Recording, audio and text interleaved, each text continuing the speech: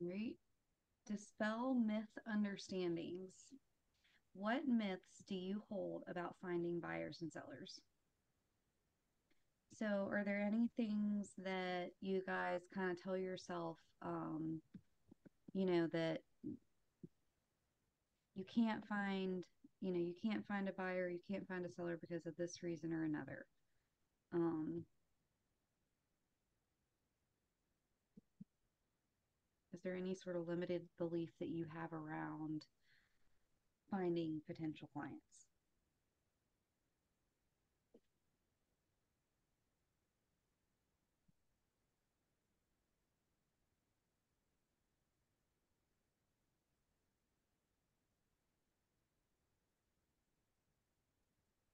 I think that when you're new, I think that um, people say, I just don't know where to start. I don't know what to do. Mm-hmm. Yeah, I think that makes sense. And if that is the case, then we're glad you're here because I think we're going to talk about that today.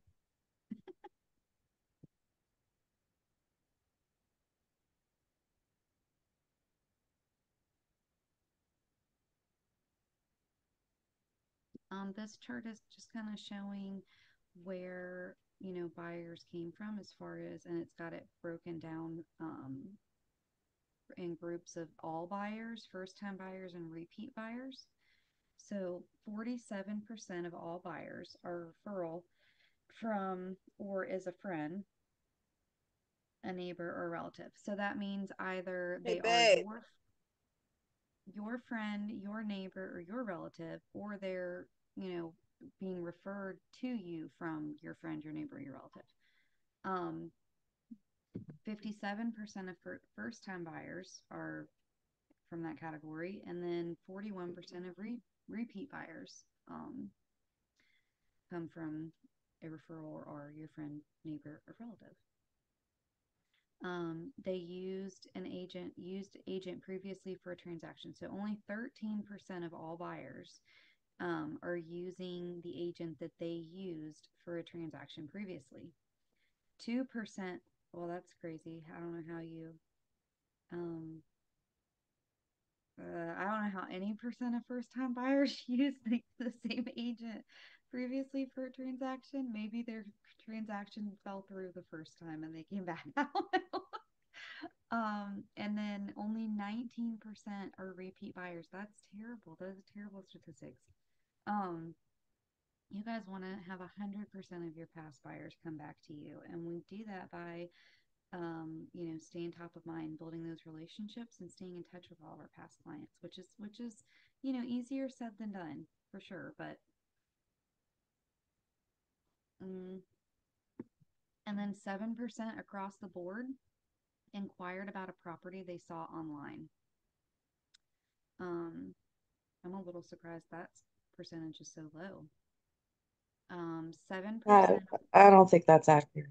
Yeah, I can't. It can't be. There's there's no way. I mean, I can think of a couple of buyers we've had just this year that were from somewhere online. So that's yep.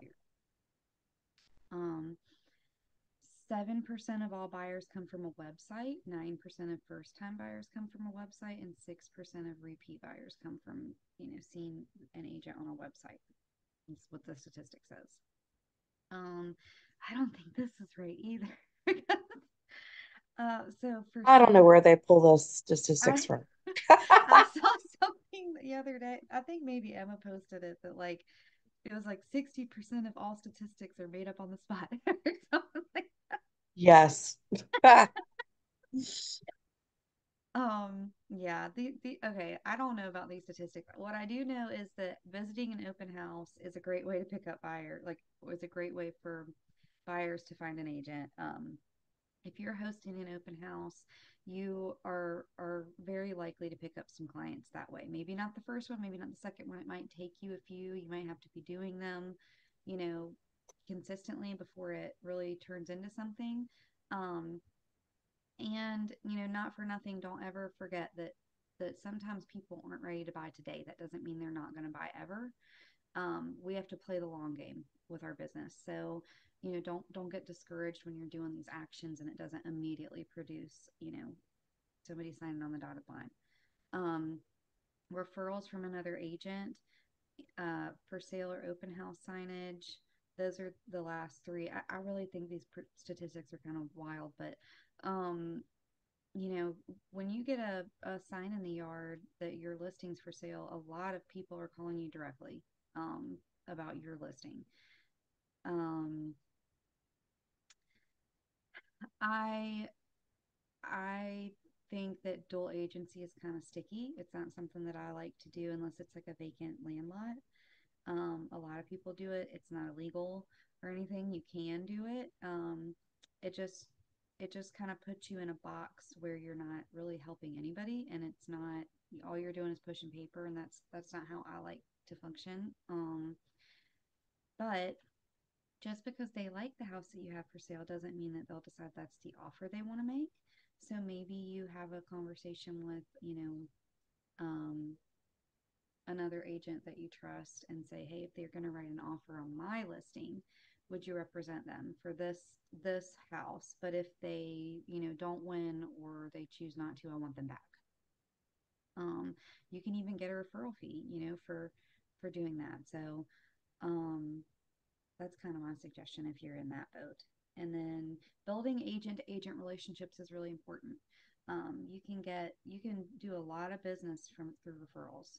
Um, I closed at least at least one deal last year that's sticking out in my head through referral, but I want to say two, and they were they were good ones. Um, one I just I literally virtually showed one house. We wrote an offer and it was done deal. It was awesome. So I highly suggest that you, you know, build relationships with agents in other states and other areas, um, because that's a great way to to get referral business.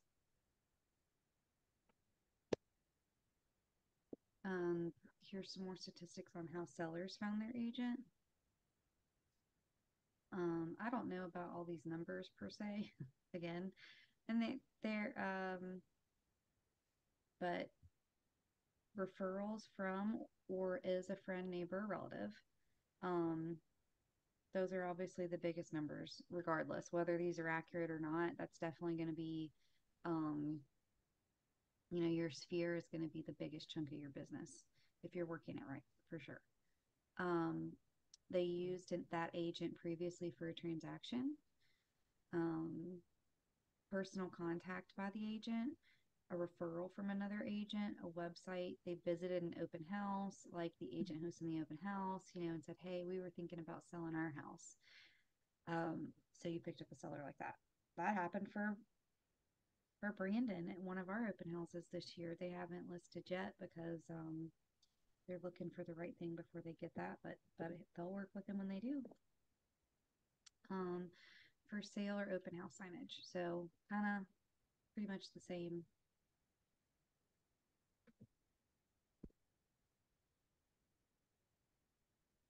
when you pick up these clients or these potential clients from any of those activities, you're going to want to put them into your command.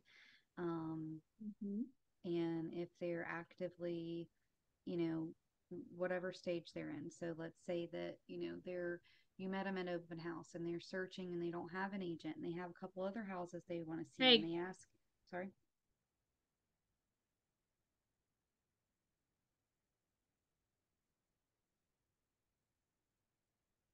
that was an accident. Um, but he's not muted. Okay. um, so let let's say that you know they ask if you'll schedule a couple of other appointments. Um, this has happened to me. It was actually they were an awesome couple. They were they came from out of town to see a house I had listed. Um, they really liked me at my open house and they wanted to see a lot of things before they went back home. So they went straight to appointment. They were really never in that cultivate phase. Um, we met each other, they loved me, and they had me schedule like eight showings. Um, and for the for the following day um, to look at before they before they went back out of town. Um, and so we were we kind of went straight into appointment. But maybe um, you know maybe one of these other avenues somebody reaches out to you and they're saying that they're not hundred percent ready just quite yet. You know they need six months um, for whatever reason. So um, they would be cultivate. You know, you've got to build you got to nurture that that relationship make sure you're checking in on them um in some fashion and then stay top of mind until they get to the point where they're ready to schedule appointments I'm sorry if you guys can't hear me. Marissa just texted me and said no, that she can't hear me. Um, am, am I like, is everybody having that problem? I'm sorry. I can hear you fine. Okay. Sorry, mine's like up to 94. And I'm like, I don't I don't know what she's saying. And I'm just gonna read the screen. I do have you turned up. Like I have you at max, but I can still hear you. Okay, I'm sorry. I'll try to be louder. Um do you do you besides Marissa because she has no idea what we talked about does anybody have any groundbreaking ah that they uh picked up from that session or do you guys have any questions um about what we what we just talked about did that like spark any ideas or do you want to dig in a little bit deeper to any of those avenues to find um potential business or anything like that this is kind of our, our slide to chat a little bit. So I'd heard that open houses are really good. That slide said they're not. So how good are they? I, I got most of my business when I started. I like I told you guys before, I think I knew no one. And I got most of my clients to start from open house. Okay. So how do yep. you how do you do that then? What is the process? agents are going to reach out. You want to watch the Facebook page, like, hey, I have an open house this weekend. Who wants it? I can tell you that you know Norm Poland's team, the Belchers, um, they're they're constantly looking for people to host open houses. Um, they would be good ones to kind of talk to. And even if you don't see something that they've posted yet, if you were to go to Norm or Julianne, uh, probably Julianne, she'll remember.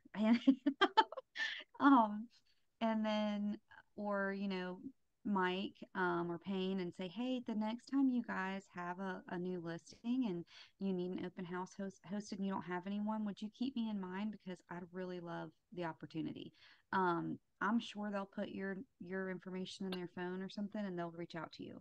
Okay. Um, and then with the new changes, so it would just make sense at that point to have a bunch of paper copies of the buyer's agent agreement and then when they sign in writing down all their information here sign this too you don't need that for open house you don't no okay Mm-mm. Okay. Um, now, if somebody walks into your open house and they say, We don't have an agent, we want to buy this house, will you write an offer for us? Then you would need that paper. Okay. Um, but short of that, no, that's not going to be necessary. And my advice you know, to you as far as if, let's say, you know, you are hosting an open house and someone's interested in working with you, but they're not interested in that particular house. Um, I would set up an appointment with them. You know, set that buyer consultation, go over that paperwork with them there, and have them sign it and explain. You know, go through the whole process. Do you have some packets, Kyla? Do you have that stuff made up, or, or do you know what I'm referring to? so, uh, most of what I've had so far has actually come from Zillow. So they call in, I tell them what I do, ask them for some whatever they're looking for, and then I send them an email with a buyer's agent agreement. And that's worked like okay. 80, 90% of the time. Okay. But um I mean they haven't we haven't closed on anything because everybody's got very unrealistic expectations. Um, but I do actually have like six or seven clients. So that's awesome. Good for you. I don't know if they're real. so yeah, that's the that's the difference. Well, um, I can tell you that you know, and I'm glad you brought this up because I meant to send that email out to everybody with coaching um Wednesday, and Jen and I like the sky opened up on us um the last few days. So yeah. I'm sorry, but I promise you, like now it's in my head again, and I'll make sure I get that over to you guys um as soon as we're done with this today and you'll see I'll, I'll, send you like some links to videos about those packets. I'll share um, a version of you know one of my packets that i used to use before um, you know we formed our team. And so it'll be like a, a solo agent um, uh, example and then we'll we'll put some stuff in there on how you guys can find where to create those. And that's the homework that we were kind of talking about to get you guys ready for Tuesday night. And then we'll we'll really get into getting these appointments and winning them and you know if you have any awesome ideas and creative things you want to add and, and all that stuff on Tuesday night. So um yeah. well I'll get that to you this afternoon and then you'll kind of know what I'm what I mean by what I'm talking about with these packets and we'll get some stuff for you to watch over the weekend. And I think you'll be like, okay, cool. I like this. um, but yeah, and then with open houses, if you're, if I would try, if at all possible, to pick um, a brand new listing, you know, something that hasn't been on for months and months. Like if it's been sitting for maybe three or four months, you're going to be a little less likely to have that big flood of of uh, people unless they've just done a price drop or something like that. Um, now that's a great time to do an open house too. Maybe they maybe they had it overpriced uh, for the first few weeks and then they um, did a reduction. That can bring in fresh blood. So um, those kind of think about that time those times are, are great. You're going to get the most people through the door. Okay. Um, and with open houses you know i'm there's plenty of people in the office. And if you're hosting one for another agent, they'll have open houses for you to use if you ask. Um, so you're going to want to set those out, you know, advertise for your open house. Um, and um, get a few little light snack stuff, you know, like maybe some bottled waters. I always advise everybody to think about things that if they don't get eaten, they're either going to save for your next open house or you'll eat them yourself. And I would get them, you know, you want them to last. Like I wouldn't go spend a lot of money on something in case um you don't have a big turnout or the people that show up don't don't eat it you don't want to waste anything so think about it from that mindset like um you can always use more bottled waters um, you can always like save those little small bags of chips and stuff and bring them to your next open house. Um, we have a tote of open house gear, you know, for our for our team in our office. I probably should check it out and make sure it's full, but um it's a good idea to bring like Lysol wipes in case there's, you know, a mess you need to pick up. Um throwing cookies in the oven is always a good idea if you if you're able to do that um, you're going to want a sign in sheet and um, we can give you an example of something like that too if if you need help with a sign in sheet. And um, anything else jen? I feel like i'm not thinking of everything that no i think you're doing good. Okay. I'm jumping in when i when i can. Um but yeah, and if you get if like let's say that you get off here and you're all pumped up about doing an open house and you get one scheduled, if you want some help, reach out to me or Jen, um, and we'll we'll help you get yourself prepared to do that for the weekend. Anytime, not just this weekend, any weekend. If this weekend is going to be a monsoon like it has been, I'm not sure if it's the best weekend. It's supposed to be nice out, but it's um one of the other agents at the office has a uh um a vendor fair, I think, going on, and I'm hmm. participating in it. I guess I don't have a table or anything, so I'm just gonna sit there at the like I the trunk of my car. But that Kyla, you might want to reach out to him. Okay. I saw on social media that they've moved that to like the 24th. I hmm. saw that if it was going to rain, they were going to move it, but it, from my forecast, it looks like it's actually supposed to be like the only nice day over the next like week and a half. Well, hopefully, hopefully they'll still have it then. Yeah. that's yeah. Well, just future reference. Don't don't feel like you have to go in blind. Jen and I are happy to, you know, help you. Okay. And now we're going to talk about classifying by re- able, ready, and willing. Focus becomes increasingly possible in direction proportion to how clear you are about what you want, when you want it, and what you must do to get it. Gary Keller from the MREA. Um, well, that quote reminds me of you, Kyla. You've got a goal. You're really clear about what it is that you want to do, and and you're gonna do what it takes to get there. So, and you know when you want it to happen. So I feel like that really speaks to you. Hey, yep. Christian. Mm-hmm. Just one thing, and Kyla, I'm sure you know, but I come from a much different world. Don't ever let anybody, when you're doing an open house, don't ever let anybody get behind you. You let them go first. You let them go up the stairs, down the stairs. You get behind them. If you don't feel comfortable, you call me. I will go with you to the open house. You can have all your leads, but I'll I'll go with you and I'll do my own social media stuff. But Aw. don't don't ever feel like you if you feel uncomfortable, just call somebody. Okay. Yeah, if, if at all possible, don't do one alone. Um, Right. You know, Jen and I don't like our our agents to do them alone if they don't have to. You know, we, um, I mean, Marissa's a little ninja, and and Brian, er, Brian, Brandon, I can't talk this morning. I'm sorry. Brandon is, you know, an officer and and military and everything, but still, you people are you always want to be careful. Uh, thanks for for bringing that up, Marissa. That's definitely um a time when you want to be thinking about your safety.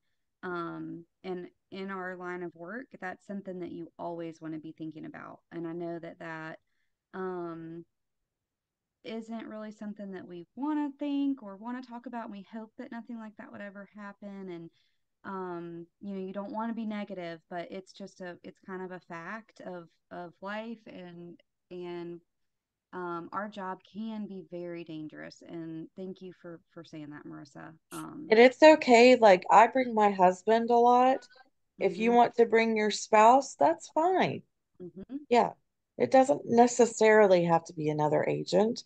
They just can't, um, you know, show the house or give any real estate advice or anything like that. mm-hmm. Okay. Yeah. Um, but the yeah, I mean, I've drugged Trevor and uh, girl, there have been times where I just had him on speakerphone, like you know, in my purse and stuff. So you you just have to try to be as careful as you can. Um, and you know, like Jen said, if you can't buddy up with another agent, um, then you know you can really bring anybody if it, your your husband, boyfriend, best friend, you know, whatever. Um, yeah, it don't it Your mom, your dad, Yep. anybody. Yeah. Your friends and family you know they care about you. They want you to be safe. They'll be happy to hang out with you for a couple hours.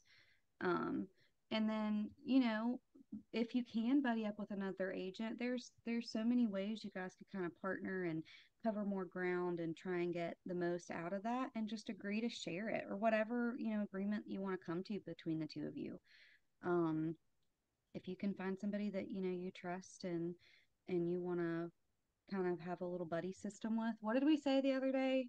Uh, if you're stretched, then find a friend.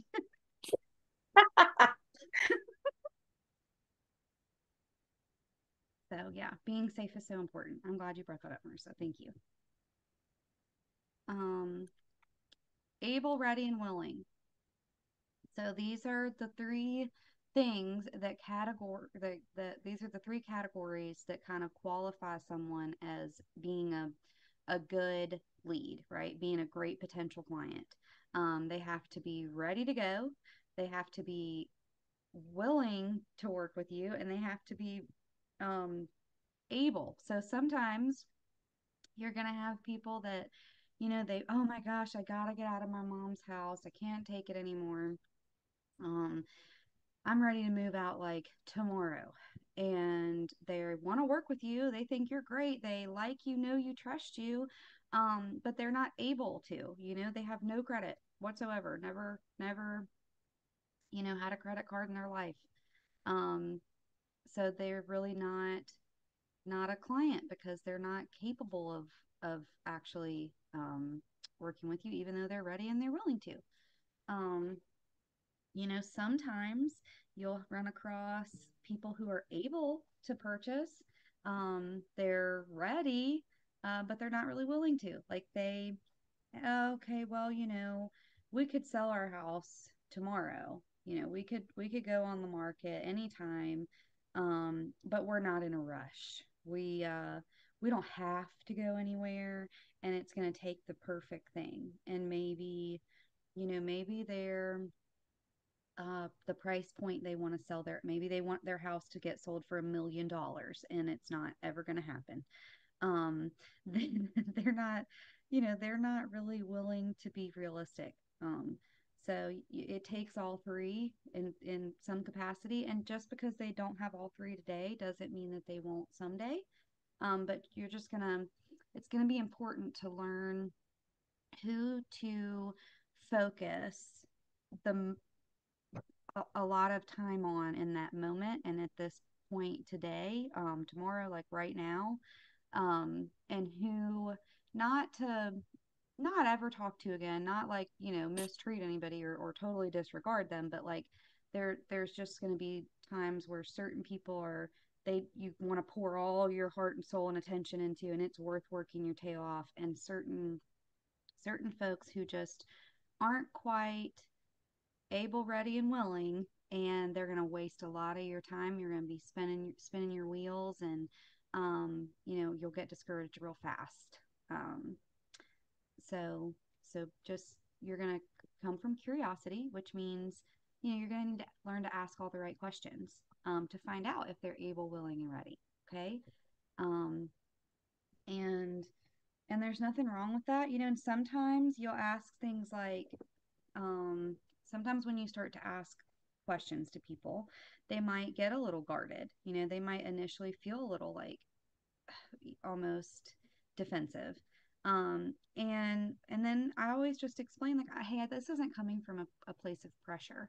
Um you know i think probably the one most often is can you help me find something to rent? Um and you I always ask, can sure I can try. I don't I don't personally have any rentals, but I know a lot of folks that do and I'm happy to help you, but can I ask why is it that you're interested in finding a rental and you're not wanting to, you know, buy a home that you that you own? Is there a reason that you prefer renting over home ownership? And sometimes they get a little it's like, well, oh great, you just want to sell me something and they they get kind of stiff and you have to say, um, you know, sometimes they sometimes they're like, well, I just can't. Um, I don't think I can. My credit score isn't 800. Well, did you know that you don't have to have an 800 credit score? We have a lender that can work with a credit score as low as, you know, 580. Um, you're not going to get the best interest rate, but you know, whatever. So sometimes the sometimes you ask these questions and they they find out that um, they just had the wrong idea about things and they're very excited. Sometimes it's, you know, they have a more personal reason and you just say something like, this, I'm not trying to pressure you. I'm just trying to, to understand, you know, where you're coming from and see the best way for me to help you. And if, if helping you find a rental is the best way for you in your situation right now, um, I'm not writing you off. Um, but a lot of times, you know, when we get to sit down and talk with people, they're we find that they just um, didn't think that homeownership was something that they could achieve, and they're very excited to find out more information from us. So, um, you, you just have to sort of explain where you're coming from if people get a little fussy about the questions you're asking.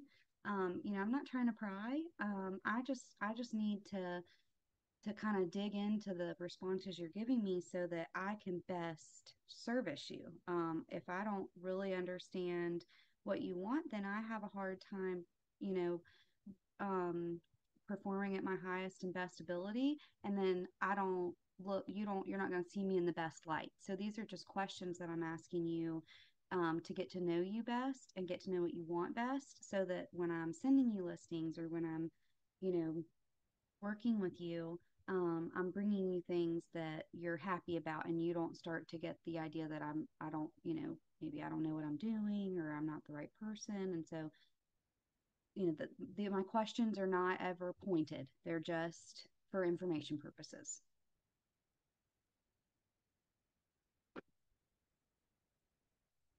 Um,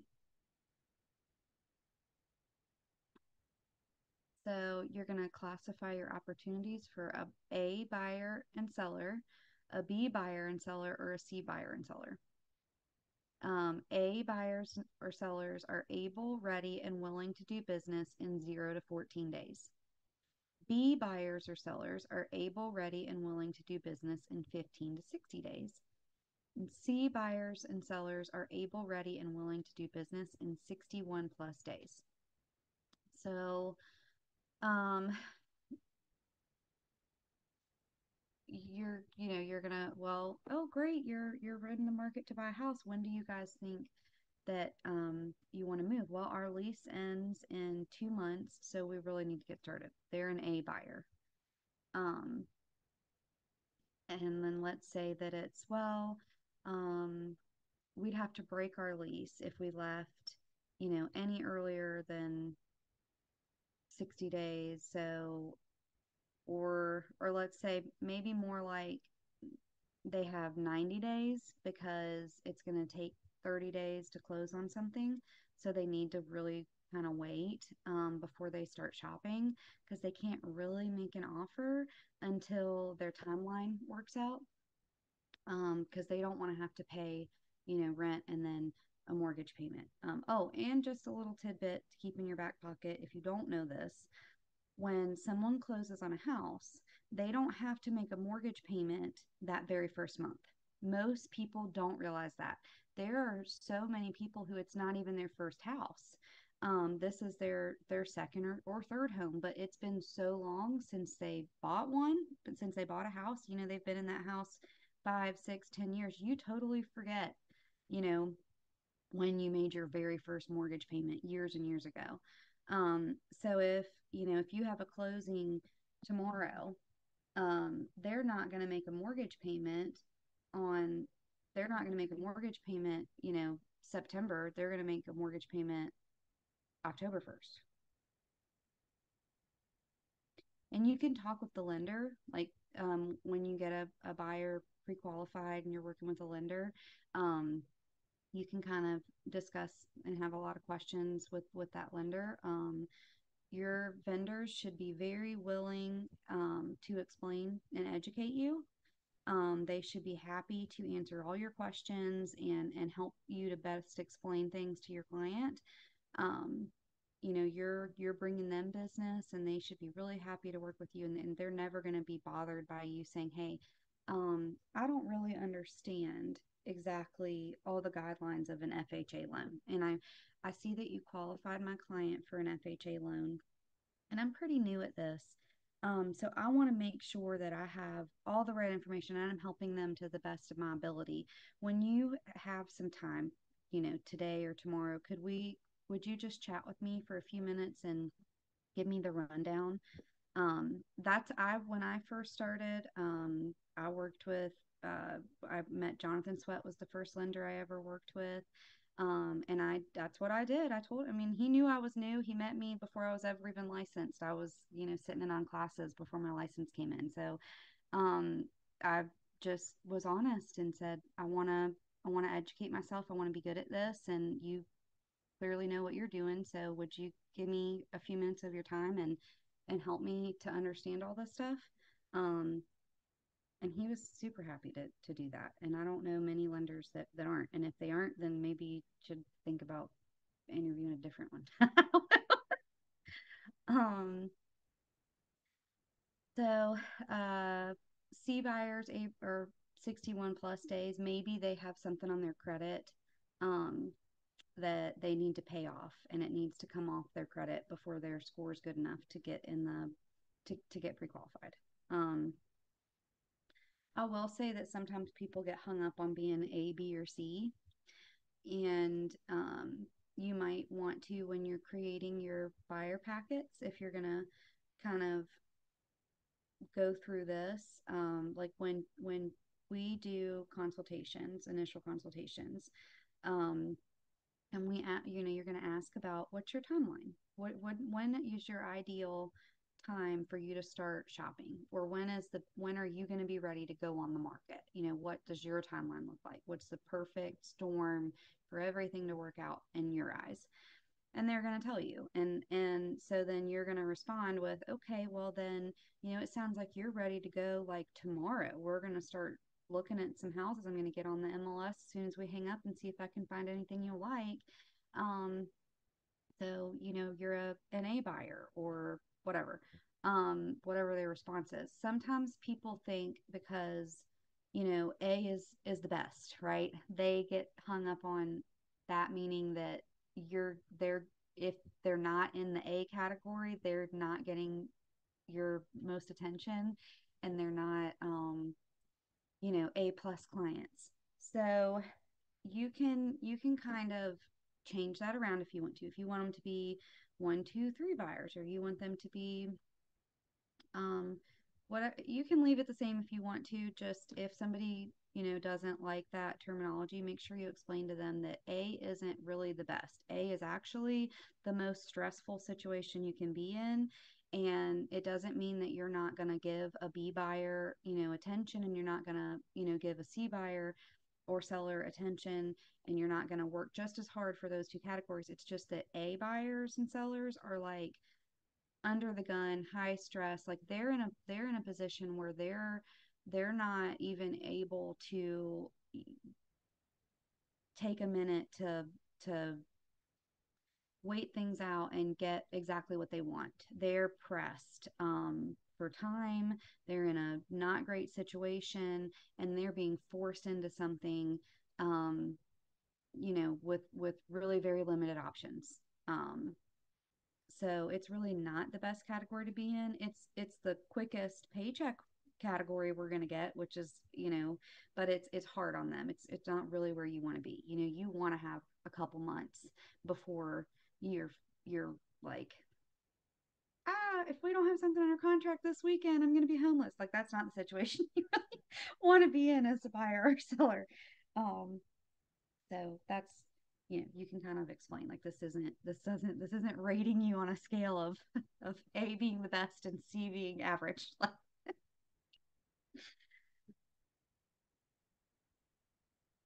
um, we got another aha screen. Did you guys have questions or comments or um want clarification around anything that that we just went over? Did I make any sense at all?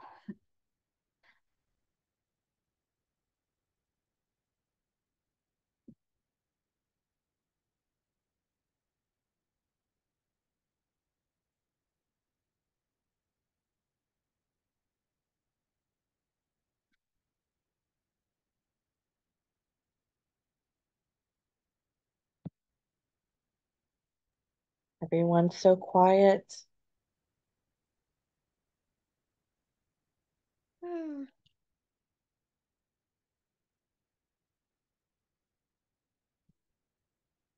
okay. Um, why qualify? Um, I just noticed there's um win-win. So document Oh, I don't.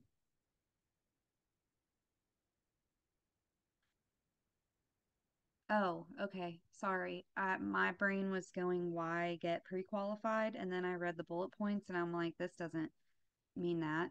Um, why qualify a client like on your end? Um, now I understand. I'm sorry. Uh, it took me a second. Um, so you're going to, you know, you're going to want to qualify clients because if you don't take the time to qualify them and um, ensure that they're really ready, willing, and able, um, you're you're going to waste a lot of time and energy. Like you can find yourself spinning your wheels with someone who is never going to close right now.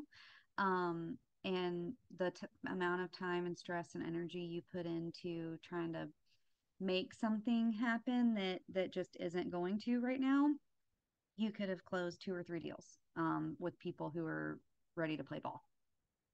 Um, so why number one um, it's a win-win for everybody right? Like if they're ready willing and able then they're they're not going to get frustrated. They've got their stuff together and they're excited and they're ready to rock and roll and you know they're ready to work with you and listen to you. And they're going to you know they're going to be they're going to feel like that's a win for them.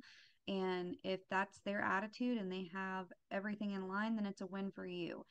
So both parties feel you know, supported and excited, and you can educate them, and they're really going to take it to heart. And it's a much better, much better um, scenario.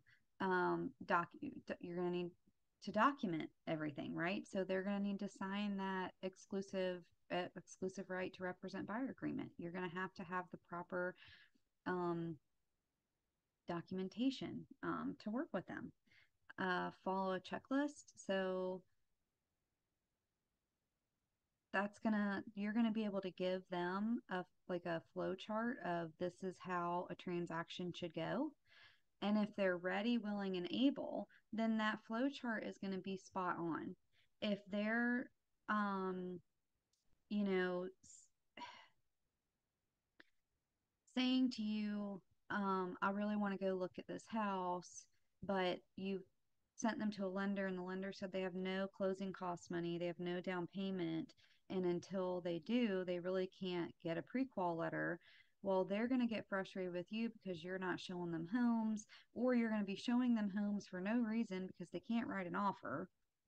Um, and that that checklist is not going to make sense to anybody, and everybody's going to get frustrated because it's supposed to everything's supposed to go a certain way. A transaction's supposed to have a flow to it, and if um, if we don't do a good job of of qualifying that client, then our flow is going to get all messed up and um, sometimes you might not know why. So it's really important to to make that first step and qualify them like to make them have that first initial appointment to sit down and go through that packet and to ask all the right questions and when they respond, ask some more questions and really get down to, um, really, really get down to why they want the things they want, why they, you know, why do they want to sell their house?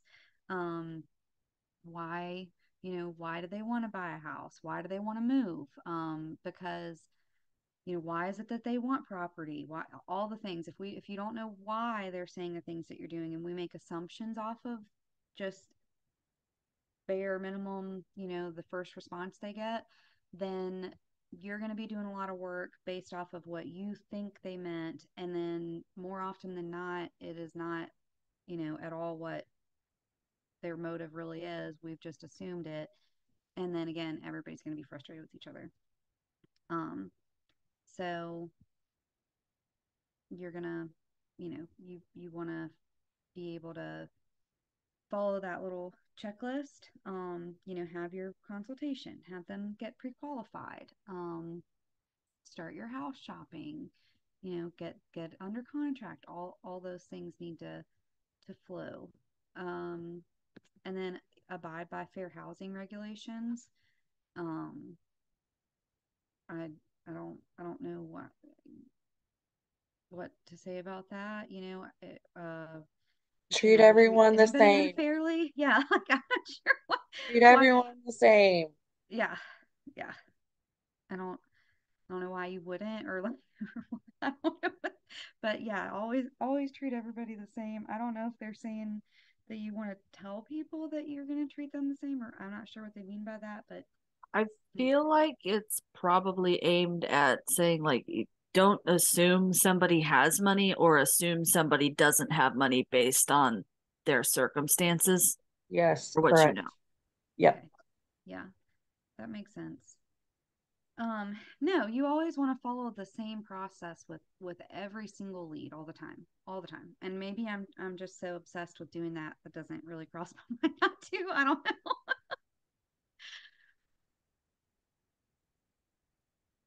Ah, do that. Okay. Um, all right. So you uh, qualifying buyers using a buyer lead sheet can be really helpful. Um, you know, these are just uh, forms to fill out to um, get all the basic answers that you need. Uh, they i'm sure they have some stuff like this in command. Um, canva has some pre-filled stuff that's really like this. Um, if they're coming from an open house your sign-in sheet should have quite a few of these questions you know like are you working with an agent? Um, where are you in the are you just browsing? Are you actively shopping? You know all those kind of questions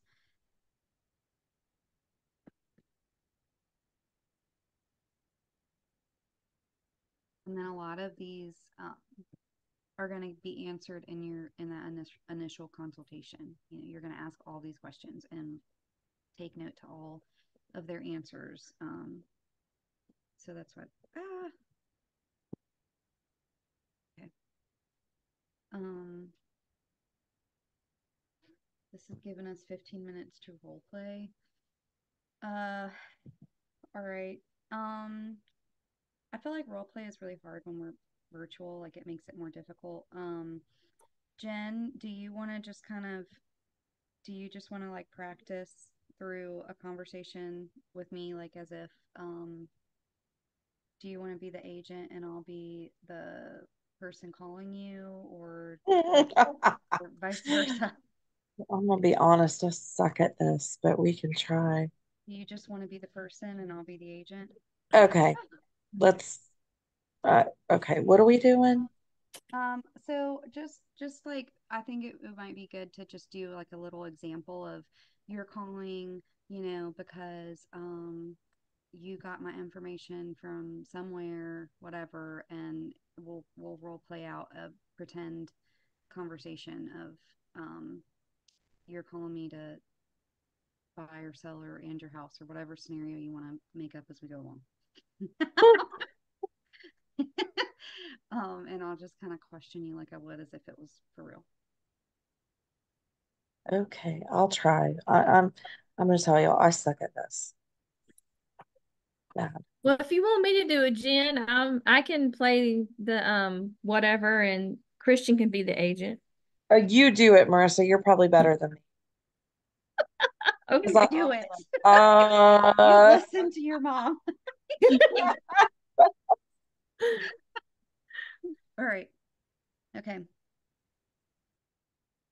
You gotta ring ring. so you're calling me.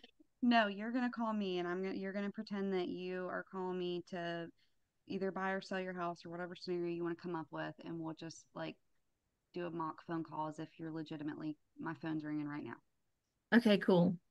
Ready? Mhm. Ring, ring. Hello, this is Christian at Keller Williams Realty Roanoke. How can I help you? Hi there. My name is Marissa Holloway, and I am looking to put my house on the market. And I was wondering what services do you offer? Wow, Marissa. Um, well, thank you for calling. Can I ask how it is that you came to find me? I just love to to, you know, um, keep track of that and thank thank the person if you came from a referral. Oh, I actually attended one of your events in Vinton. Awesome. Oh, great. I'm so glad to hear that. We put a lot of work into those as a team, and it, it's great to hear that that's paying off. Um, so I'm sure since you came from, uh, since you're calling from meeting us at an event, that you've probably met all or most of our team, and you're aware that, um, you know, there are several of us that would be working for you. Um, and we are a one stop shop, girl. We do it all. Um, we can help you with any and all of your real estate needs. And the reason that um, we have, you know, we are a team of five. It's myself and my business partner, Jen. Um, we have two other amazing agents that work with us. And then we've got um, our incredible admin, Avery. Um, and we all really work together to make sure that our clients always have someone that they can reach, whether it's me or whether it's um, Jen or Brandon, or if it's just a, a, forms question or something, you know, you're just needing a yes or no answer. Generally, Avery can make those calls too. So you're never going to be left in the dark or be waiting for a long time to hear back from somebody. That sounds amazing because I work very odd hours and I volunteer a lot. So my hours are a bit sporadic. Mm, okay. Well, um, then I'm going to go ahead and ask you since you have such a wild schedule and we're very flexible. Um, when would be a great day and time for us to come to the house because it's really um, it's really almost impossible for us to give you a, an exact idea of what we could put your house on the market for without seeing it in person. Oh, sure. I'm off every Tuesday and Thursday, and you can come at any time. Okay. All right. Well, do you mind giving me the um, the address so we can do a little bit of homework before we get there? Um, and then that'll also help me map out when we've got an exact time and I can go ahead and get a firm appointment with you. Sure. It's 321 Main Street. Hmm. Okay, awesome. Well, it looks like we've got a good chunk of time around noon on Tuesday. Would it be okay if um if I pop by Tuesday at 12 o'clock and you know we can look at the house and see what we can do to help you? Absolutely. And I have pets. Would you like me to put them away? Oh, we love dogs. If they're not going to bite, we don't mind hanging out with them. Okay. All right. Well, Marissa, thank you so much for calling, and we're looking so forward to seeing you Tuesday. You give me a call back if you need anything else between now and then, okay? Fantastic. Thank you. You're welcome. And then, oh, you know what? I didn't get her email address like I should have. So, um, Ooh, you fired.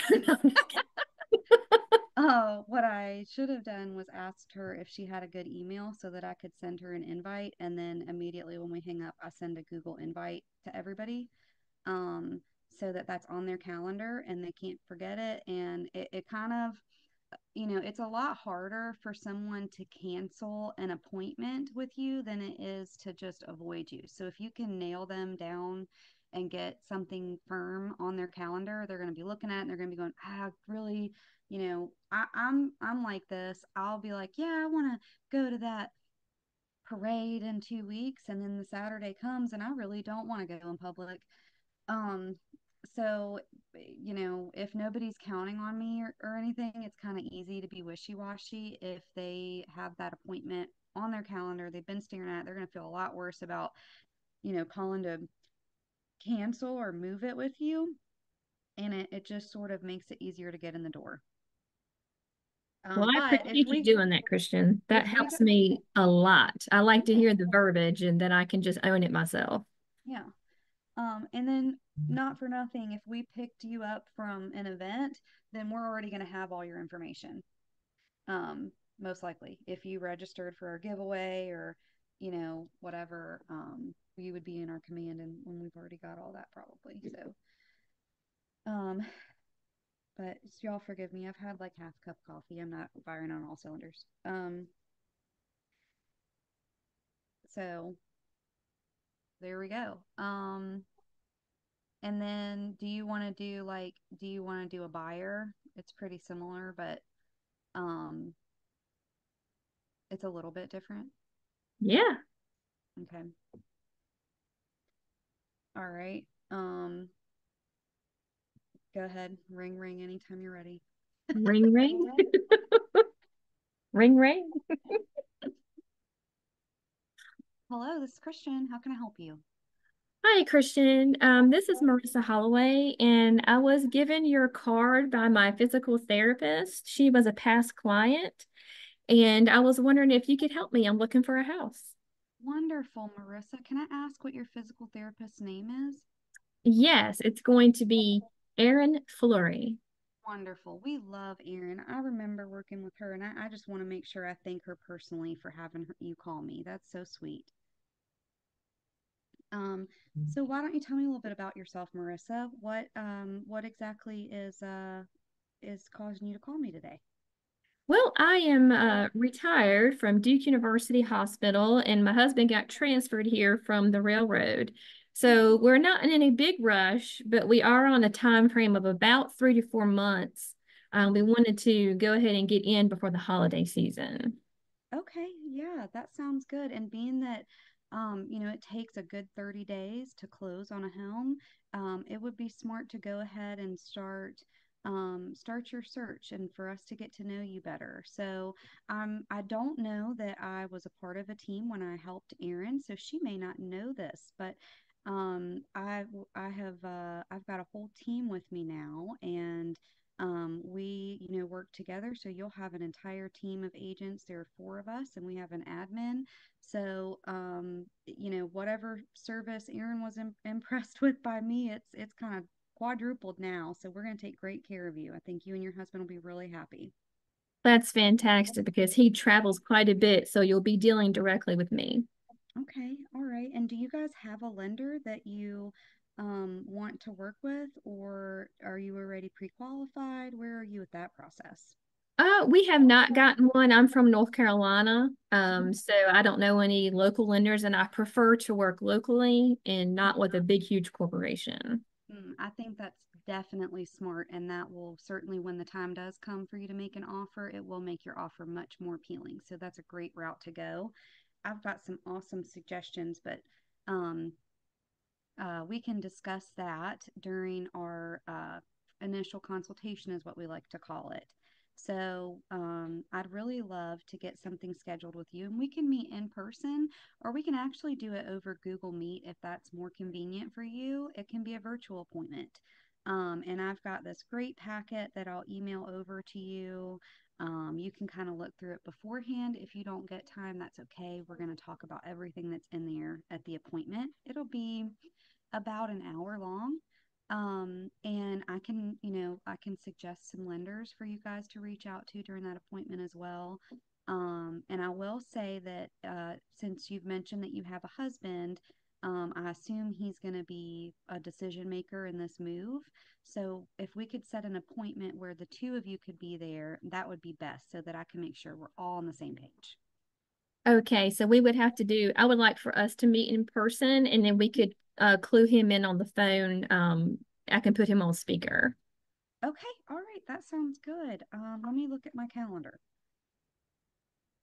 All right, it looks like I could do five o'clock tomorrow or 12 o'clock on Saturday. Which would be best for you and your husband? Let's do let's do 12 o'clock on Saturday. All right, sorry, a kid came in, I got distracted. Um, okay. Um, all right. Well, Marissa, that sounds wonderful. I look forward to seeing you. And um, I will more than likely have either my, my business partner, Jen, or a team member with me Saturday. So you'll get to meet some of us. And then, you know, we'll go over our whole dynamic and all the ins and outs of this process you guys are about to go through. That sounds fantastic. We look forward to it. Oh, so do I. Thanks so much for calling. Thank you. And then um, you know, same deal. We're meeting in person at the somewhere, but you get the gist of it. Obviously, I should have set a meeting location and all that, but we'll figure it out. mm. This role play stuff makes me kind of nervous, so I don't know why. Me too. I'm I I just am not good at it and I forget to say things, but I know what I know what to do in real life, I promise. yeah, sorry. Um, I don't know. It ma- it makes me nervous to to. Uh, I don't know. It, it, always makes me nervous to do the role play thing with you guys, but I just I try my best. Don't don't let them leave without their email. And if you set an in person appointment, make sure you set a location. but you know what? In real life, when things like this happen and it's unexpected, and you pick up the phone, you might be walking through Kroger and your kids might be like grabbing stuff off the shelves and throwing it in the cart. And you're like, oh my gosh, I want to beat y'all, but I have to stay professional on the phone call. Or, um, you know, you might be like, and you're probably going to be in the middle of something else. You might be, um, it might make you nervous. Maybe that's the first time that this has happened and you are real life nervous um, I am not going to sit here and tell you that there's never been a real life phone call where an actual client has called me and I've forgotten to say or ask something important. Um, it's happened before. It'll happen again. It's not the end of the world. Um, I think that, you know, a huge part of people feeling like they know you, like you, and trust you is you being genuine and authentic and being yourself. And, I, you know, I have had to call people back and say, Girl, I'm so sorry. I was, you know, I was driving when you called me earlier and I completely forgot to ask you for your email address. And that, you know, I need that so that I can send you this invite and send you the packet I told you about. So, um, I apologize. And they're going to laugh and they're going to be like, that's okay, you know, or I've had people, um, or maybe you if if you're not comfortable with that like i'm i own my mistakes i, I i'm never gonna be the kind of person that thinks that I need anybody to think that I'm perfect because I'm not. And um, that stuff doesn't bother me. Some people that that is like will eat you alive, and and you know you kind of obsess over every little misstep and and miswording and and you know anything you feel like you missed. Um, So if that if you're not comfortable with saying, "Girl, I'm sorry, I, I messed up. I don't know what I was thinking. I'm uh my kid ran down the, the hall with a knife and I was halfway freaking out when we were on the phone to be honest with you. I don't know. Um whatever it is, if that's not you, so send a follow-up text. Thank you so much. And really you should do this anyway with whoever has called you. Once you get to a point after that conversation um that you've hung up, you want to send a text and say, Thanks so much for calling me, Marissa. Um, it was great to speak with you. I'm looking so forward to meeting you and your husband on Saturday. Um, would you please uh, text me your email address so that I can send those things over to you, um, you know, that we discussed on the phone? So, um, you know, you can always say, Oh, you said you wanted to meet in person, and I'm so used to just autopilot, meaning that we're meeting at my office. Um, that I didn't even think to confirm that was convenient for you. Is it okay to meet me at my office or did you have another location in mind? If you can always just kind of shoot a text over later and get a response like that. You don't have to say, um, ignore me, I'm crazy. But if you're going to hang out with me long enough, um, you're going to realize that that's how I am anyway. If you don't like it, you didn't want to work with me in the first place. So.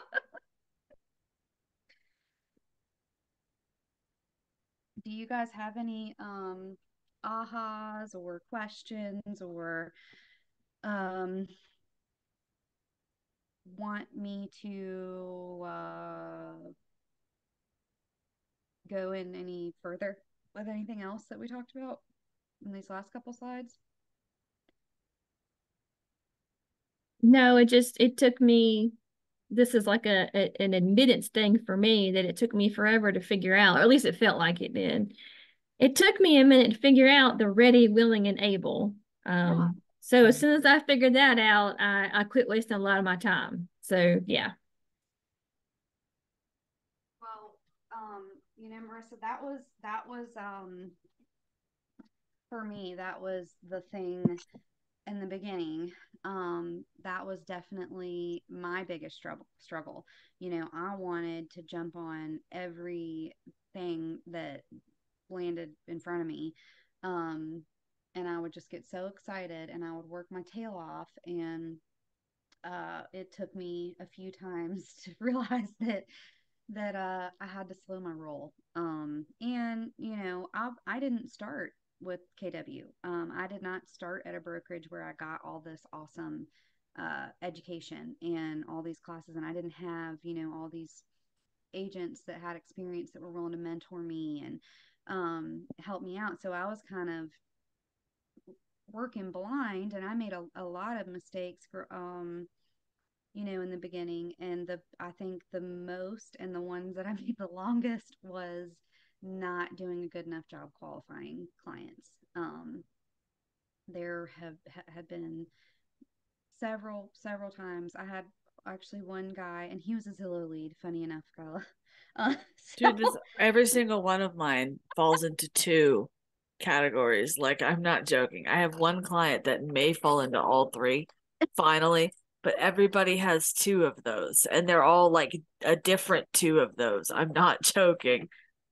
Well, um, you know, and if you, I, Jen and I still need to do our kind of intro meeting with you, and I feel like we've got a good handle on a few of the basic things that we ask everybody. So we can take it, maybe we can take a few minutes, and you can kind of dig into what what you mean by that with us, and we'll help you sort of, um, you know, handle them in a way that you don't lose them, but you don't waste your time if they're not there right now. And, and yeah, try to help you get give you some advice on how to keep that business, but not, you know, work it so hard that it's keeping you from from closing that right now business.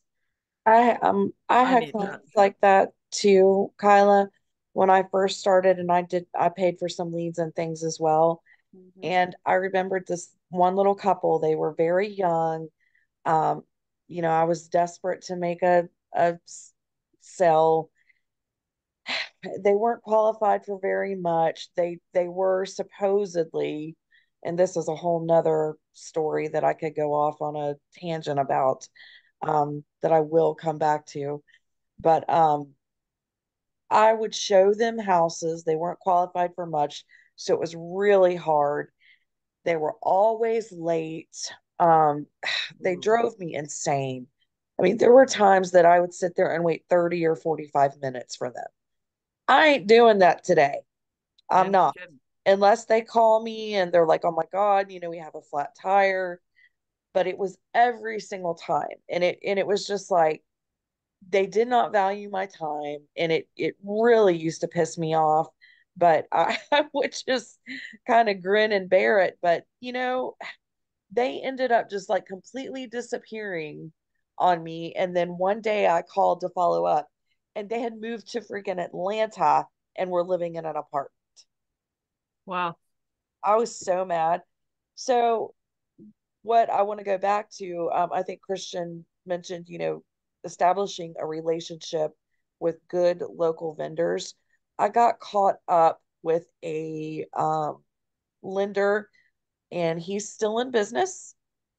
Um, he had some questionable um, tactics Mm. and ways um, that he did business. And unfortunately, I learned the hard way with him. But you ha- you need to pick your vendors very carefully. And I think somewhere deep inside of me, I knew that. But again, I I was desperate to get that business. And I wasted so much time, so much time with Mhm. those people and with him. And you you're afraid to let it go because you think you won't get anything else. Mhm. And it, it's not true. Yep. I should have just refocused and went in a different direction. I lost four deals because of that lender. Four. And, you know, um, if there's ever something where, you know, eh, when you're newer, and especially like, I don't know if that was when you moved here, you know, maybe there was a question like for you that, well, this isn't the same in Florida, but maybe it's different here. You know, if there's ever something that's like, hmm, that doesn't quite sound right, but you are the professional in your field, so I'll just take, you know, go follow along.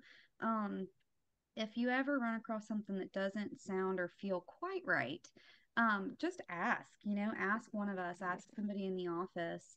Um, and you know, we'll we're happy to listen. And maybe it's just maybe it isn't anything. Maybe you hear, "Oh no, you know, that's that's totally normal. I know that's like a weird circumstance. You won't have it often, but it's not, you know, uh impossible for it to be that way or maybe you know you're right and your gut is right and you you come to somebody and they're like mm, run like send them to someone else And that's um the feedback I got from other um, seasoned realtors, if you will, um, once I kind of did what Christian was saying, and they were like, oh no, st stay far away. mhm. yeah so we all you know we I think as far as as far as Jen and I go, and I think probably most agents that are going to teach these Ignite classes, we probably learned this stuff the hard way.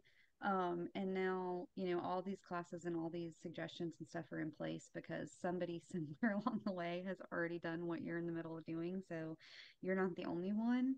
Um, and you know, we're we're always here to help you and we want to save you from from making the same mistakes that we made. Yes.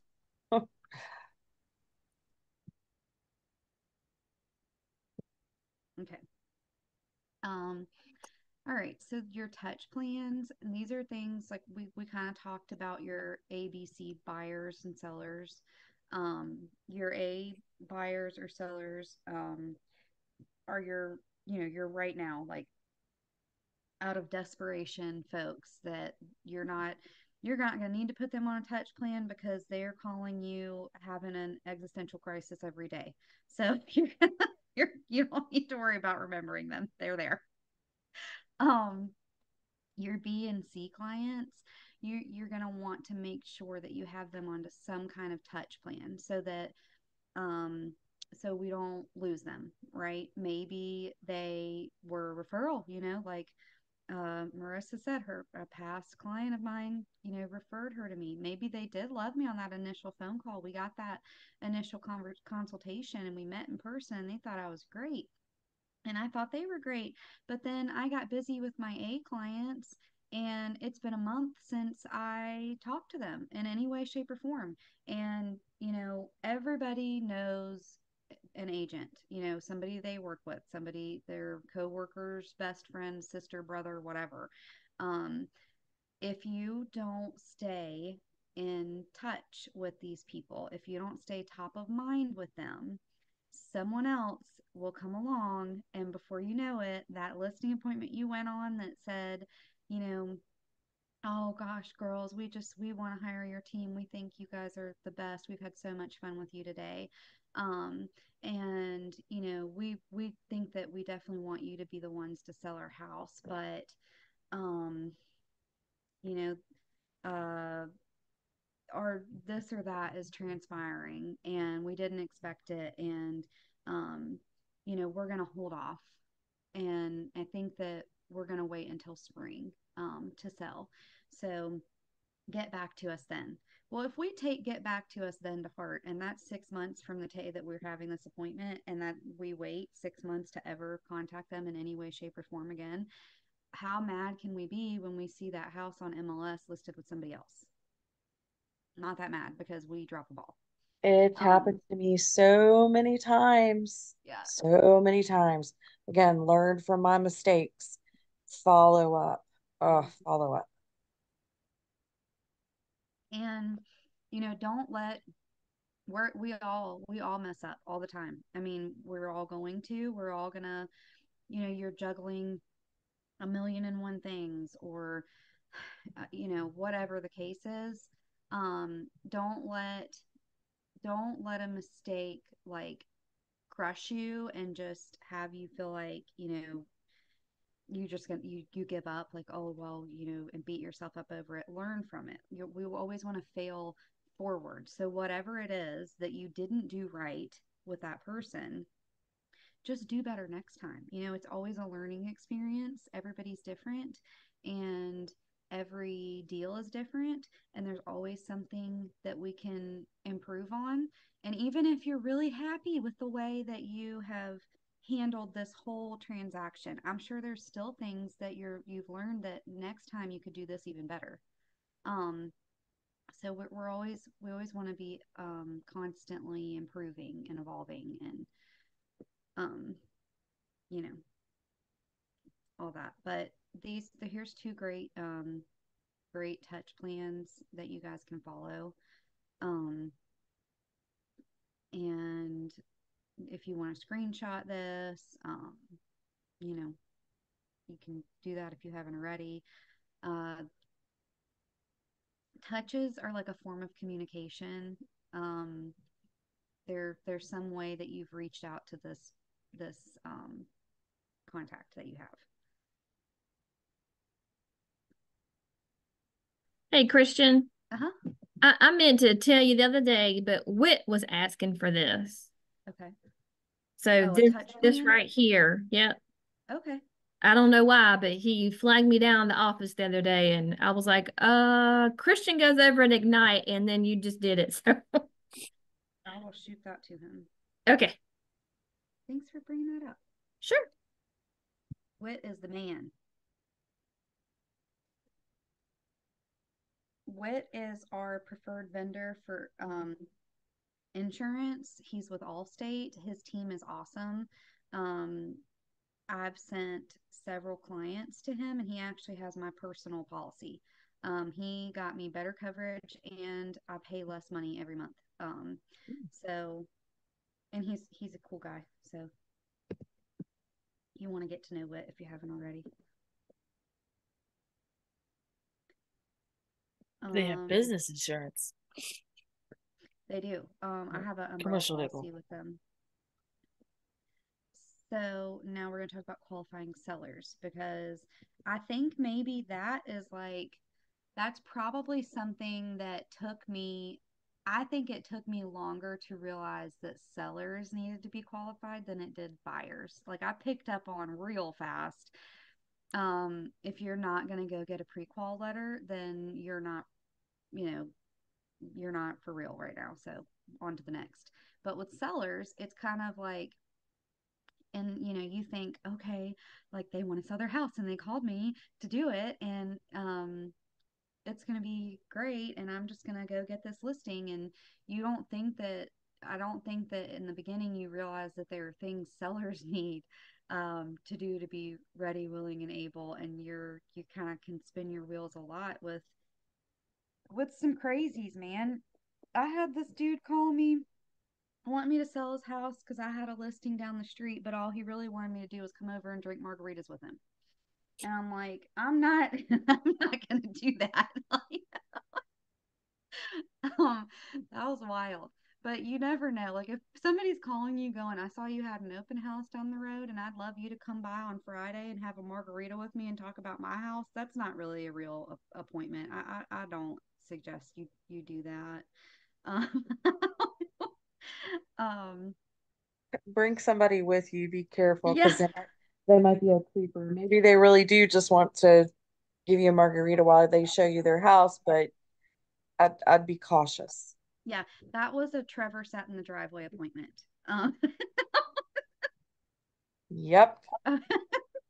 For real. Um, I actually, yeah, he sat in my, that's my husband. I, my husband sat in my car, um, at the end of the driveway and I, um, I had my phone on speaker inside my purse and he listened in on everything that was going on. This was before Jen and I were partners. So I was, I was just torturing my husband every time I was nervous and that's all I had. Now I get to torture Jen.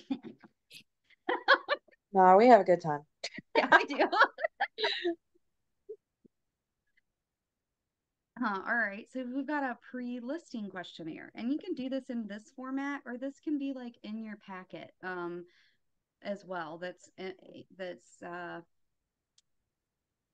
I think that um, these are these are great. Um, I think that you I've gotten to a point probably where all these questions are like second nature. I don't know that I necessarily have them written out anywhere, but we probably should. I think it would be I think it would be good um to have.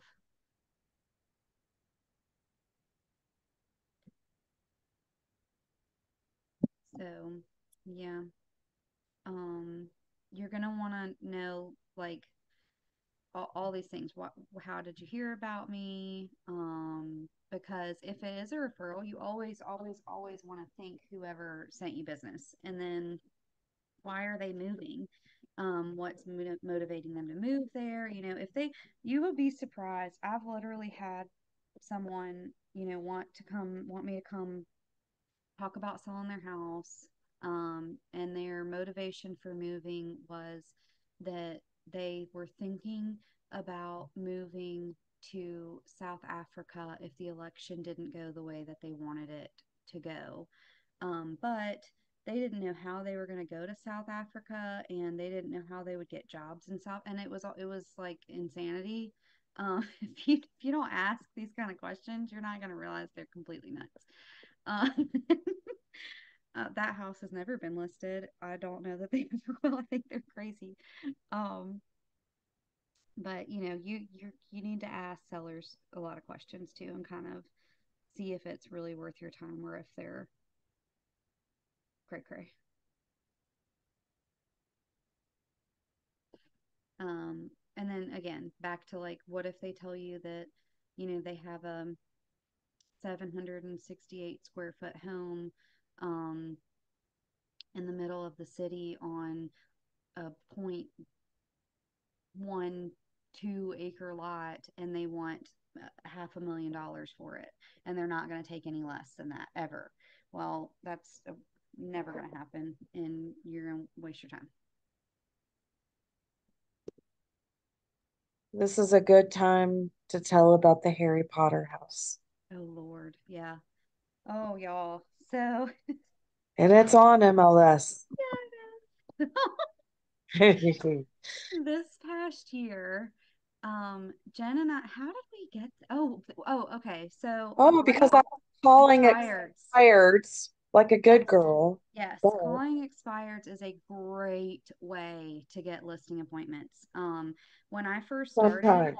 I got up at, yeah, sometimes. When I first started, I would get up at 5 a.m. every single morning and I would go through the whole expired list. I would dig all their information, I would write it all out. I'd take my kids to school, drop them off, come back, and I would call every single expired and set appointments with them. Um, and then we went through a while where there weren't any expireds because if you had a freaking dog house for sale, they'd buy it for $150,000. But um, we're starting to see expireds again. So, Ow. yeah, Jen and I were like, oh, you know, we're expireds are popping up again. We're gonna let's start calling expireds and we'll get some listing appointments. And we got us one. Yeah, we did. Um, Oh my goodness. The photos were Oh. really bad, really, really, really bad. So Jen and I are looking through these photos. This is a million dollar expired listing. Um, we're excited because that price point it, it often sits. You know, not everybody is is able to spend a million dollars, so it's not uncommon for a million dollar home to expire. Um, or when you get over a million, and unless the bigger price point. Um, it was out in Floyd and the pictures were horrible, horrible. So we're thinking, oh my gosh, you know, this is going to be awesome. And it just really needs professional photos. It looks like a really cool, like t- different kind of place. It had a lot of acreage. Um, it is not uncommon for a million dollar piece of property to be sold in Floyd at all. So we're like real excited. Oh boy. Hmm. Um, these folks do not live here. Um, they own this property. They have a contractor box at the property, and they tell us that they we are free to go by there any time that we'd like to um that weekend. And you know that there's a box on the porch and um you know whatever they live in like Texas or something. we go out there. I've never seen anything like it before in all my years. Never. As we go down the winding gravel path, there In the middle these- of the woods. yes, in the absolute middle of the woods, zero service, like SOS on your phone. You know, if we get murdered, it's going to take a while to be found. Months, probably. um, and we're going down this creepy little winding gravel driveway. And to add to the sketch, they uh they had carved humans attached to trees, like they were bound to the trees, as if they're like I don't know what. So We have some photos Christian can share in the group text later. um we pull up to this baby do. and it is we have quickly discovered why there were no good photos because it was probably the only chance you were going to get somebody to go out there. Yeah. It felt Yeah. like they couldn't real. tell anything about it. Um, it was like something out of like a Hobbit home. It was like a, a Harry Hobbit Potter. slash Harry Potter. Yeah, like it could be a pretty sweet Airbnb for somebody that was like interested in a, a Harry Potter experience if they sunk about a hundred thousand dollars into it to make it safe. I don't know. It's crazy. Um, they So built it's it- on the MLS. Yes, Oh, yes. they built it themselves by hand. Neither of them are contractors um, of any kind. So that alone should give you a pretty good idea. Um, it was wild. Um, I I will never forget it, and I I have nothing to compare it to other than a Harry Potter Hobbit house. I, I don't that they wanted a million dollars for. Um, and It was something. no less. It was yes, yes, It it was was an experience. that it was. Mhm. Um, they like had cemented rocks together to build a lot of the walls, and because they were doing this on their own while they were tripping in the woods with their hippie friends or something, um, they there was all this water damage. Yeah, man. It was like just open to the weather for I don't know how long. It was crazy. There was wires hanging. uh like scrap pieces of wood nailed together. Literally Um, like, oh, the corner doesn't meet. So let's just take this chunk of quarter round and glue it here and the outlets looked I like don't- they had been pulled out of like a 1920s house and reused. Mhm. I'm like, what the heck, dude? it was Yeah, it was wild. it was wild for sure. I, I I was almost speechless. Like, I, I, I didn't exactly know what to say. I'm like, I, I've never seen anything like this before. Please post those pictures. I need to see this. Well, Oh, I and I don't want to pick on the other agent. I mean, but uh, yeah, it has not moved. Nope. I, I bet not. I bet not. But you know, she's a big agent and she's a She great is. agent. She Um, is. She is. and she's getting she's getting you know exposure which was what jen and i discussed like if we took it it would have to be for the exposure it would be like because we could market it in a way that you couldn't market anything else and and you know she's a she's a great great agent and she's got you know some expendable funds to kind of put herself up on a billboard or in a magazine or whatever to get that notoriety which if that's the you know if that's the way you're looking at it and you've got the money to spend why not um we just really weren't in a position to to drop that kind of money on For no um, reason. mhm, yeah for no reason yes No good reason for me. Yep. Um, on advertising alone. And then the more we discussed it too, like it would take a very specific clientele to even have interest to call you. And we weren't sure that that was, you know, we were wanting to go the tree licking route. I just, I'm not sure.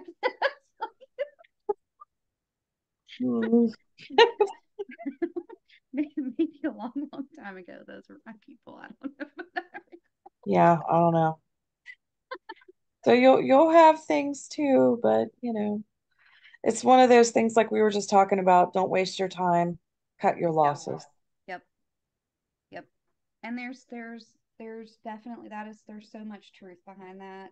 Don't ever feel like if you don't do this, you're not going to get anything else. It's not that is not true. If you take the effort you're putting into something that will never produce fruit and you put it into action that will, it will it, it will be well worth it to drop, you know, just to let it go. Sometimes you got to let it go. Um,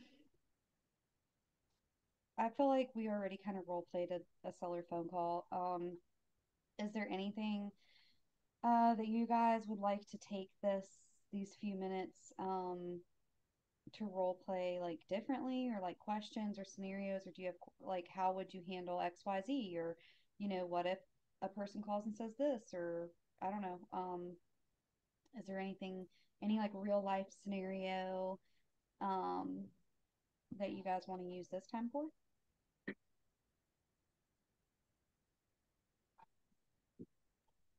Well, Christian, I do have a, a question, and this, it, I mean, it's it's gone now, but um, when I did put in that offer on Walnut, and the guy called the other agent, and he was so polite, so nice, and he, you know, he was very, oh, the the offer was great, but you know, you you really just can't beat a cash offer when they when they offered this much more above asking price, and so on and so on is there anything that I could have said after before he hung up to um to keep us to you know to keep me in mind or or can I do that? Yes, yeah, absolutely. So, um, you know, cash is kind of king. Mm. Um, unless they're the type of cash buyers who think that that means they can come in at a hundred thousand dollars less because they have cash. Um, Cash if I have ain't one of those. yeah. Well, It- ain't gonna happen. it's, it's been it's been an adventure. yeah. if they're a very realistic cash buyer and they're offering that client at asking or very close to it with little content to contingencies, you you really can't compete with that. No. Um, but yeah, no, Marissa, there is nothing, and, and this is anytime, anytime, anytime ever. Um, whether it's cash or whether it's, you know, they needed a little less seller concessions or they're they're doing no inspections or, you know, whatever it is that they say to you is they they it was real close, but you know, it didn't work, whatever. There is nothing wrong with saying, Well, thank you so much for letting me know. And um, if for whatever reason this deal falls through and it doesn't work out, would you please keep me in mind and reach back out to me? Because you know there's perhaps we will not have found something different um, if, if this falls apart. And we my client really loves it. So if it doesn't work out we'd love to be um, we'd love a second chance or you know whatever. Um, yeah you can totally say that Okay. And so if if that were to happen, I'm just saying, let's say that deal fell through and he called, he's like, Hey, Marissa, I don't know if you remember me, blah, blah, blah. We would really love to uh consider that offer. Mm-hmm. mm-hmm. But when I made the offer, it had an end date on it. Mm-hmm. So would I just write a new contract? I mean a new offer? Um I think first thing first, you have to respond in a way that's like, well, I thank you so much, you know, for reaching back out to us. Um, I appreciate you remembering us. Let me call my client and make sure that they're still willing to uh, honor those same terms. Um, and you know what they how they're feeling. So because sometimes um you know may, maybe it's been a month. You know, deals fall apart days before closing sometimes. Um, sometimes closings get pushed out for one reason or another, and then it still doesn't work. So maybe it's been a couple of months, and maybe the market has changed. You know, maybe that house is not, uh, maybe it's not really worth what it was a couple months ago. Maybe the comps aren't there now. Maybe some things around it have closed for less, and you can get your buyer a better deal on the house. Um, you know, and then not for nothing, they've wasted some time. They've paid another mortgage payment and they're coming up on another one that they're going to have to pay. So it's always kind of good to to take a minute and sort of strategize and and your client has to you know ultimately it's they have to give the answer um with what they want to do and maybe they're you know maybe they want to make some changes maybe they want to go um all in with whatever it is that they wrote the the last time. Um, so so you want to talk with them, and then, uh, yeah, I I mean I'd say yes.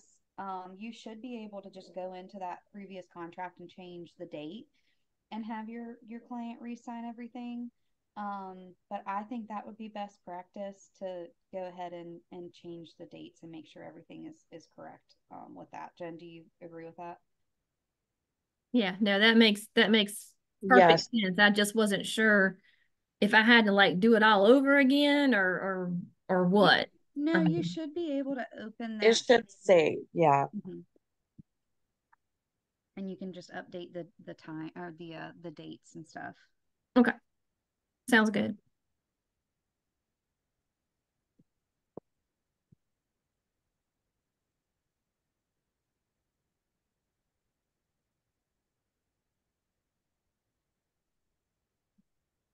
Do you guys have any um feedback? Sorry, my mouth's full.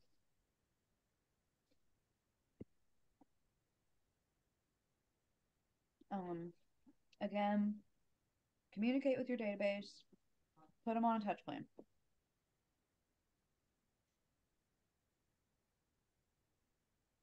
Um, you know, your feedback only helps us improve. If you'd like to scan this code and um, leave your comments, questions, considerations, rate us, Go ahead. Um, KW Cares is a nonprofit through KW. The money goes towards Keller Williams agent or their family that's um or not just an agent like Hey, a- honey, that's not a monkey bar. Can you get her off that swing, please? any associate. Um, um, so this is money that, you know, if if a if somebody within our KW family or their family member is suffering some sort of hardship, um, the money can be donated to them. This year we we spent um the fund on Dawn. Dawn, an agent in our office, uh, was diagnosed with cancer and had to go through treatment and uh, we were able to use some of this fund to help her. So it's a great thing if that's um, something that you'd like to do. KW Next Gen used to be KW Kids Can. Um, maybe you've heard of it that way. It's another nonprofit you can donate to. Um, it helps, uh, you know, young people get into the real estate world. Um, it's how we provide um, scholarships for K Score and puts kids through Quantum Leap, um, all that jazz.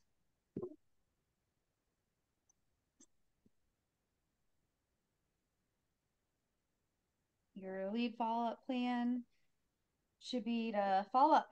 Uh, I always suggest you make a phone call. A lot of times you don't get an answer, but you can leave voicemail and then I follow up with a text message. Um, hey, sorry I missed you.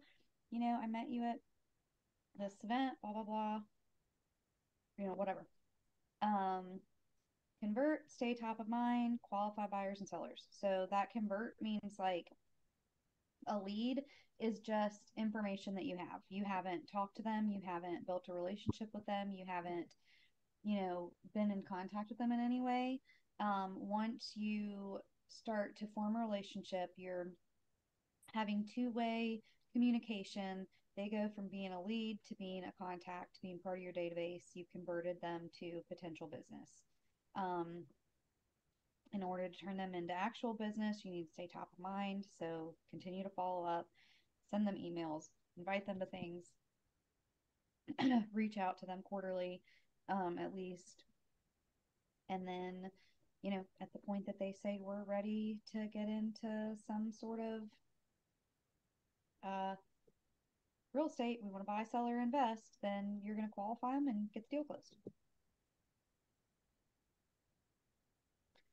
Um, your ahas to achievement when you sit through these things, it's a great idea to think of like um, if you have new ideas or what mindsets are new, has your thinking changed? How do you, what do you feel differently about? What was meaningful to you today? Um, what are things that you're going to do differently moving forward? Um, and then consider the tools, models, or systems that you'll use on the um, moving forward to be, you know, successful um, and reach the goals that you have set for yourself. Um, and you want to think about how you're going to hold yourself accountable for the, to those actions.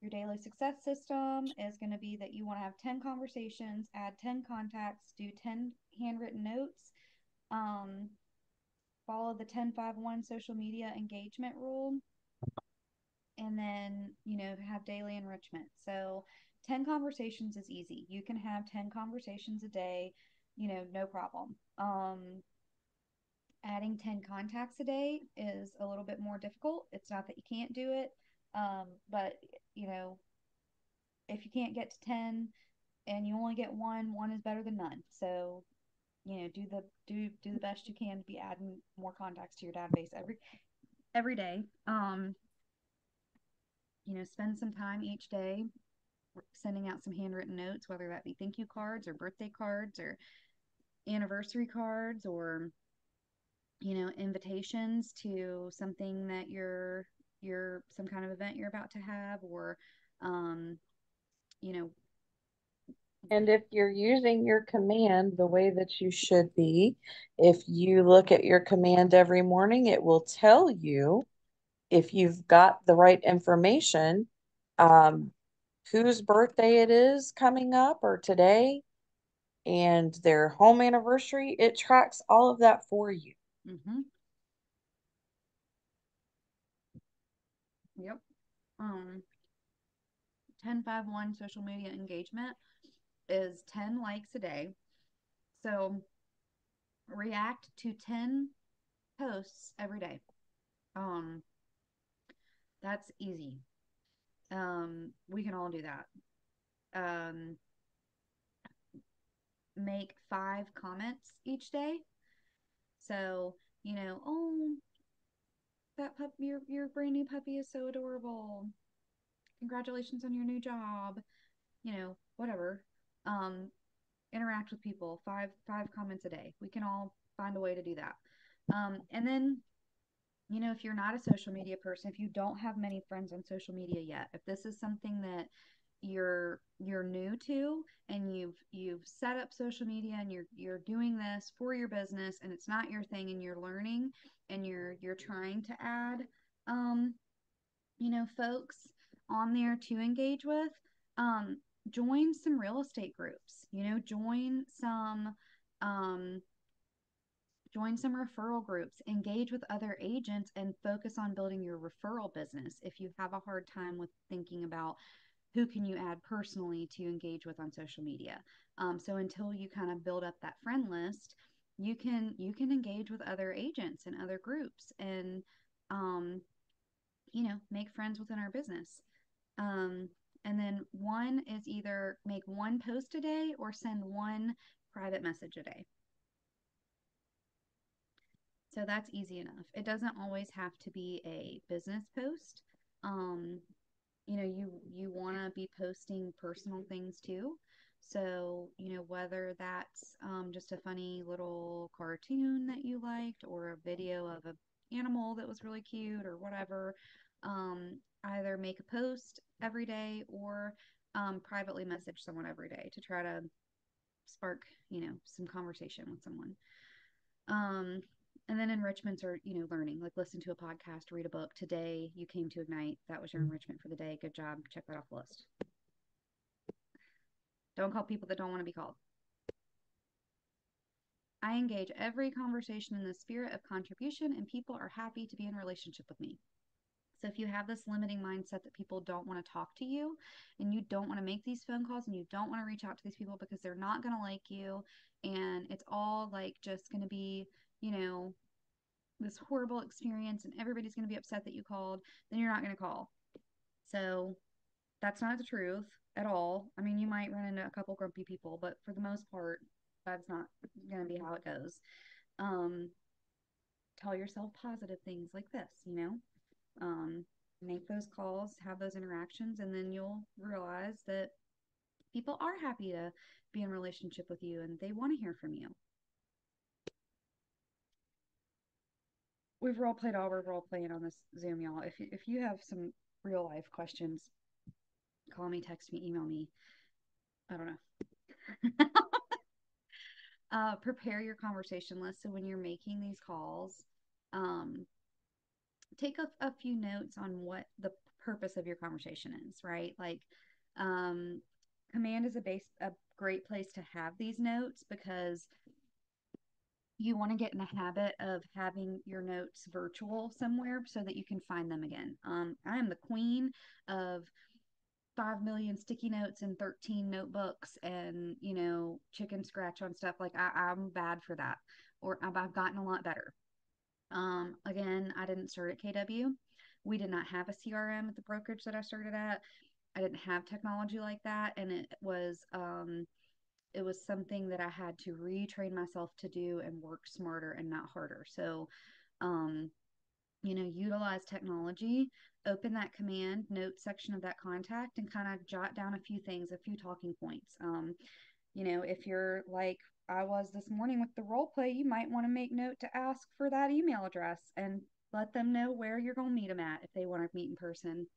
Um, so that you don't forget to say that.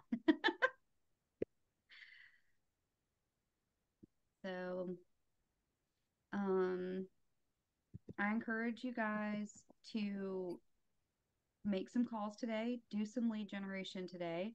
Um, if you haven't already called everyone that is in your sphere to tell them that you're licensed now um, and that you're selling real estate and you want to help them or anyone that they know when they get to a point where they're ready to buy, sell, or invest, work on that. Um,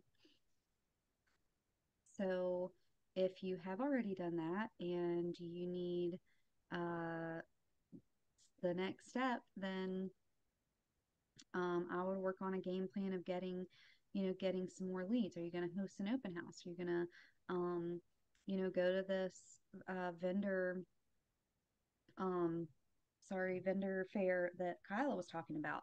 And if if you're struggling with client to client conversations and like finding a client to call and lead gen with, um, call vendors, build relationships with title companies, insurance agents, lenders, um, plumbers, electricians, painters, you know, construction, like build relation, call um, other business owners that fit our world, right? Add them to your to your um, to your packet, your list of people um, that you work with. Uh, we all need to have um, a minimum of three vendors that we're suggesting to clients to keep you out of the hot seat. So, you know, if you have um, you have one electrician and you know that's your buddy and you like him, it's great to suggest him, but you want to build a relationship with two more that you feel like maybe you're not going to use them personally you're only going to use your buddy but we don't ever want to be only suggesting one vendor to clients because not everybody likes each other you know not everybody's ever not everybody meshes um, and works well together and you don't want them to blame you for for being don't get sued. Yeah. Yep yep yep um, I need to wear a t-shirt that says that because I feel like that's all I ever tell you guys is don't get yourself sued, but I'm I'm serious. It yeah. it can happen very easily. Yep. It really can. So, um yeah, if you don't have leads to call and have conversations with, um call some call some vendors, you know, build those relationships. They're happy to get those calls. They're looking for business just like we are. Um, if you have not already added all your contacts to command, do that and update them. If you have their home address, put it into their contact. If you have their email address and it's not in their contact card, add it. Make sure your database is um, healthy. That's what they call it, the health of your database. So make some calls um, and celebrate your su- successes. If you know the first couple calls don't work out the way that you wanted them to, then you know get get back on the horse and uh, keep going. Because if you make enough, one of them will. It's it's just the rule of what is that thing, Jen? Um, Statistically, I mean, yes. you're you're gonna have more no's than yeses, but you know what? All it takes is that one yes. Mm-hmm. Yep. So, um, all right. Well, that's all I got for you guys. Thank you so much um, for being on here today. I apologize that it took me so long to get it going. Um, but we had a weird, I couldn't even make Facebook work last night. So we got somewhere. At least, at least it happened eventually. um, so thank you guys. And if you have any um, questions from this or just at all, reach out to me or Jen. We're happy to help you. Um, go uh, go do some some lead gen and let us know how it goes. Bye. Thank you.